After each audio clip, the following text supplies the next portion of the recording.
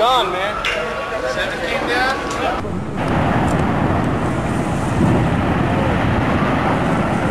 I remember getting a call from the uh, fire department commander telling me that they were not sure they were going to be able to contain the fire. I said, you know, we've had such terrible loss of life. Maybe the smartest thing to do is, is pull it. Uh, and they made that decision to pull, and then we watched the building collapse.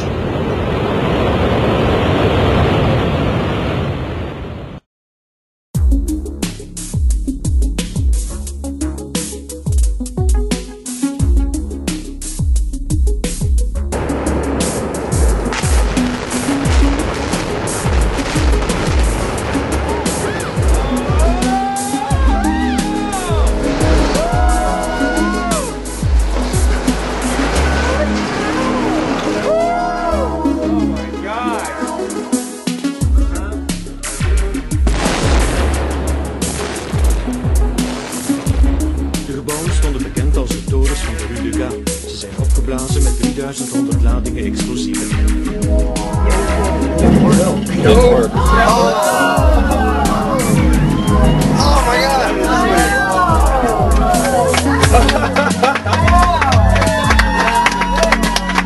I, I don't know exactly how many stories the building is, Dan, but, but standing at the base of it, watching it burn about an hour ago, it looked to be something on the order of 50, 60 stories, as you said, a very, very large office building.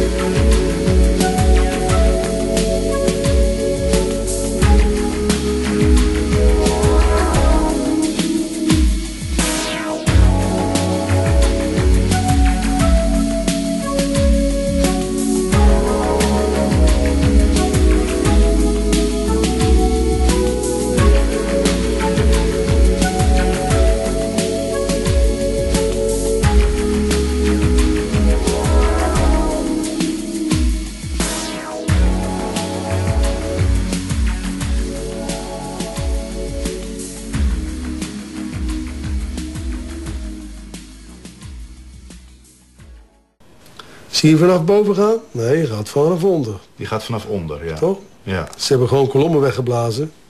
Er is nagesprongen. Dit valt anders dan het World Trade Center. Vind je niet dan? Ja, je ziet het, de onderste verdiepingen gaan eerst. Ja, en de rest zakt er gewoon in. Dus eh, dit is controlled demolition. Zeker weten. Zeker weten. Er is nagesprongen. Dit is in opdracht gebeurd. Dit heeft een team gedaan van experts. Maar dit is ook op 11 september gebeurd. Dezelfde dag?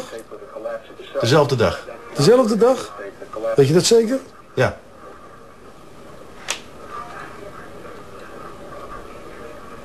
Was het zeker weten de 11e? Dat kan geen waar zijn. Zeven uur nadat de World Trade Center naar beneden viel. Ja? Hebben ze hard gewerkt. In het officiële onderzoeksrapport van FEMA staat dat ze niet kunnen verklaren waarom gebouw nummer 7 is ingestort. Uitgebreid bespreken we alle mogelijke oorzaken met Danny Jowenko. Uh, dat weet ik niet precies, maar ze hebben wel... Maar hij blijft erbij dat het gebouw is opgeblazen. Het is vakwerk, zonder meer. We weten heel goed wat ze doen, die jongens. De vraag is dan, is zoiets van tevoren voorbereid... of kan dat op 11 september zelf nog zijn besloten en uitgevoerd? Met hoeveel man heeft u hoeveel tijd nodig om dat uh, te doen? Dat weet ik niet precies, maar... Maakt u een inschatting? Ja, dan moet je wel ervaren mensen hebben. Maar als je een man of 30, 40 zou hebben... Kijk, een paar met de snijbrander. De rest brengt hem aan. Andere mensen sluiten die, uh, dat deadcord met, uh, met die boosters aan. Dat moet allemaal precies allemaal op hetzelfde moment gaan. En weer een derde die zet uh, de elektronische systemen erop. En dan gaat hij. Terwijl overal ja. brand was en ook in dat gebouw was ja, brand. Dat is niet geblust. Ze hebben de brand niet geblust. Dus de mensen die dat moesten doen, die moesten het doen terwijl het binnen nog brandde.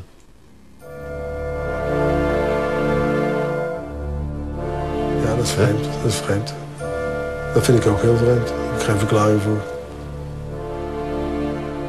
In gebouw nummer 7 zaten onder meer de IRS, het ministerie van Defensie, de CIA, de Secret Service, de commandobunker van burgemeester Giuliani en de SEC, de beurswaakhond die toeziet op de financiële schandalen van Wall Street.